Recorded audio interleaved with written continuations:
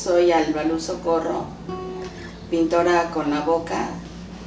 Inicié hace 19 años aproximadamente en el arte de, de la pintura y em, actualmente trabajo para la Asociación de Pintores con la boca y con el pie, la cual la sede se encuentra en Suiza y nos dan la oportunidad de trabajar con ellos ya que son una empresa comercializadora y en la obra que mandamos pues la imprimen en, en diferentes souvenirs como rompecabezas, calendarios, eh, agendas y bueno, inicié con, como pintora por azares del destino. No les voy a decir que ya lo traía, es una vocación que traía de, de niña porque les estaría mintiendo creo que la pintura fue la que se acercó a mí en un momento de, crisis tanto de salud como emocional.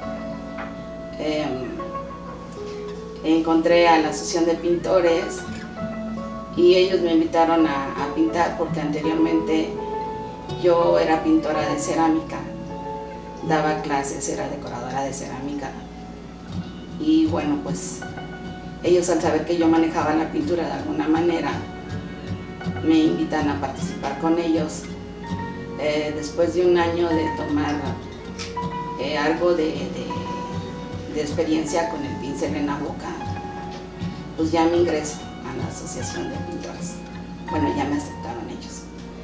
En el 2004 ah, la pintura inicia para mí eh, una vida diferente creo que es ahí donde empiezo a, disfrutar de, muchas emociones, porque empiezo a expresar, eh, el expresar eh, a través de la pintura eh, experiencias de, de, mi vida al principio, este, pues como reto, empiezo a tener retos empiezo a tener este, evolución como persona, ya que empiezo a conocer a un mundo de gente que está metida en el arte.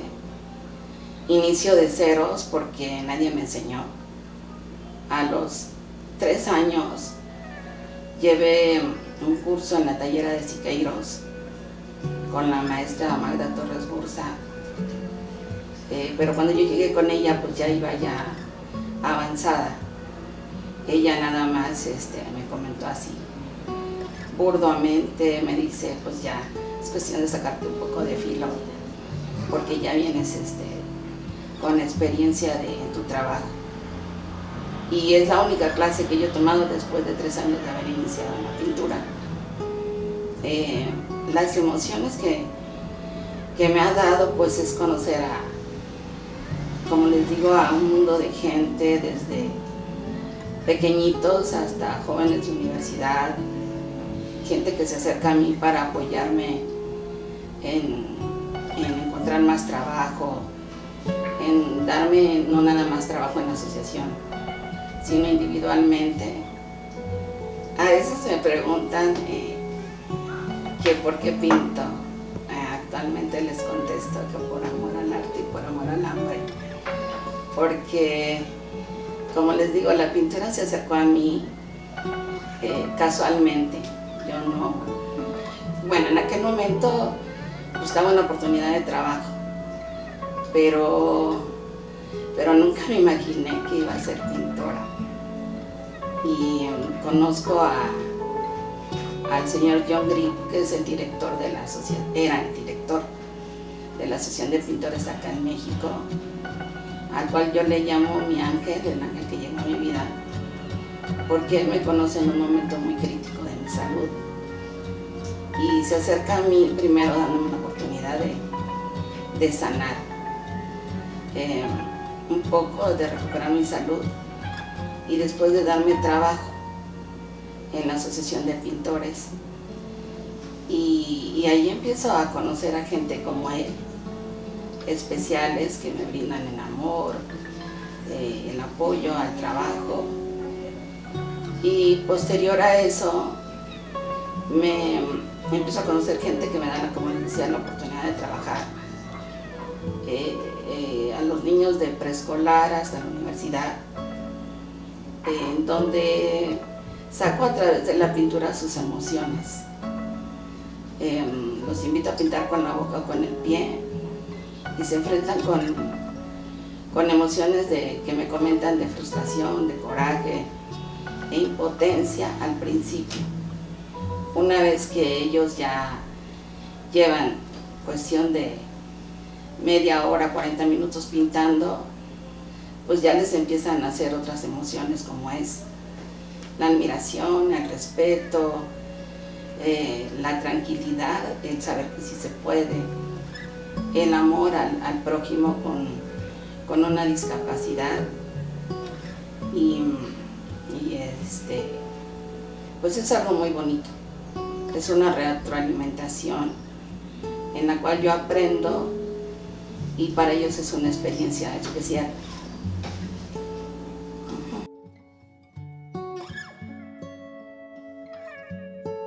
Inicio, inicio una obra eh, trazando un bastidor con líneas auxiliares.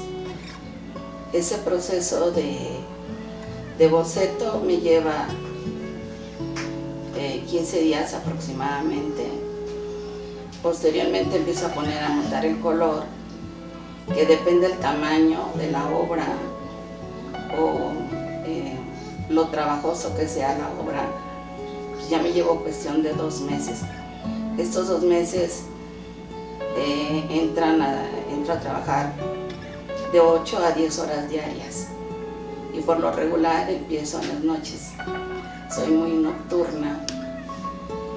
Em, en este procedimiento me enamoro de la obra de Van Gogh. ¿Por qué me enamoro de la obra de Van Gogh? Porque cuando empiezo a dar los talleres de pintura, me piden estudiar eh, la obra de Van Gogh. Y empiezo a darme cuenta que es un loco igual que yo. Nada más que el más específico. Porque pintaba lo, lo bello, lo hacía triste, y yo lo bello lo hago con más vida todavía, le doy más color, que son los comentarios que me han dicho eh, los niños en el taller. Ponen la obra de Van Gogh y ponen la mía y me dicen, es que la tuya expresa felicidad, expresa mucho colorido, es algo así como muy carnavalesca, ¿no? Y este, y bueno, pues ese es el procedimiento que me llevo en mis obras, pintando toda la noche casi. Es, la, es donde llega la, musa del arte en las noches. Y una vez concluida la obra, eh, se la doy a su dueño para que la busque en su casa, quien me la haya encargado, o se va a Suiza. Eh, por eso actualmente yo no eh, tengo obra en mi casa porque toda está esparcida. Tengo más de 120 obras que he pintado durante ya casi 18, 19 años.